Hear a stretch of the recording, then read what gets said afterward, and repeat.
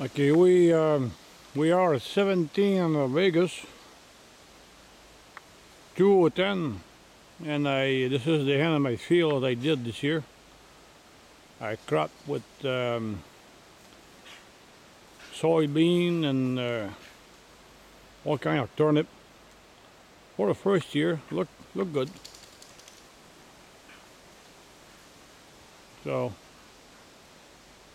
I'm in a rush to see how the deer will do with that this fall.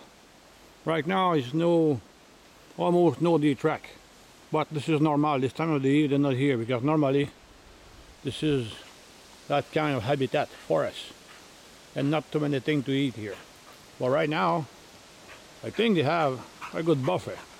So we'll be back sometime in September to look at it.